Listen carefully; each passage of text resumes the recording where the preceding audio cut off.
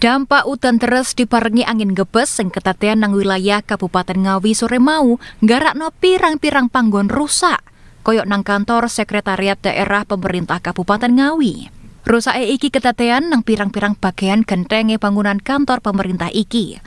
Koyok gentenge akeh sing lugur mbarek ruang bagian kesra sing ambrol plafone.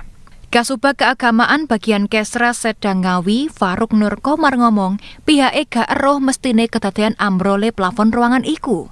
Kabeh karyawan Kesra wis mulih, tapi dhek mestekno nek pas kedadean keadaane pas udan barek angin gebes.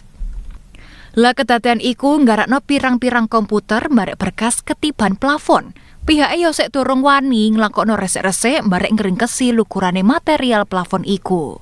Seuntara iku sampai sore mau petugas BPBD Kabupaten Ngawi yosek nginventarisir dampak teko udan angin sing kedadean.